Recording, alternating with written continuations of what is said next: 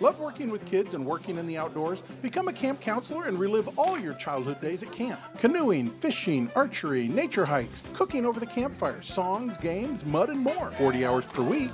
Make money and have fun doing it. Apply for a position as a counselor, specialist, assistant camp director, or a camp director. Camp hours are 40 hours a week, Monday through Friday. Prefer applicants 18 and over. For more information, call 402 444 5216.